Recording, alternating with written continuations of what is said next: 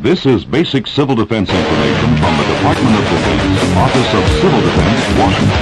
If the United States should be attacked with nuclear weapons, it's almost certain that our networks of warning stations would detect incoming bombers or missiles in time for you to reach shelter or at least take cover.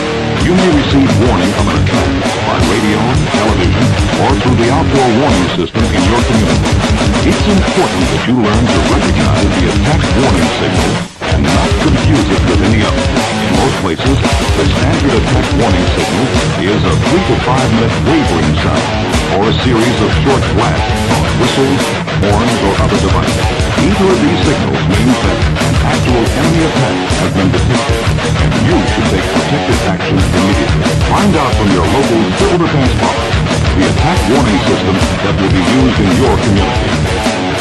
This is basic civil defense information from the Department of Defense, Office of Civil Defense, Washington. Especially in time of emergency, think before you act and follow instructions by responsible authorities. You may receive warning of an attack by outdoor warning systems, or by radio or television, or even by word of mouth. Unless local officials have instructed you otherwise, go immediately to a public fallout shelter or to your home fallout shelter. Then tune your radio to any local station that is broadcasting and listen for official information. Follow whatever instructions are given. Don't use the telephone to obtain further information and advice about the emergency. Depend on radio, as the government will be broadcasting all the information it has available. The telephone lines will be needed for official calls.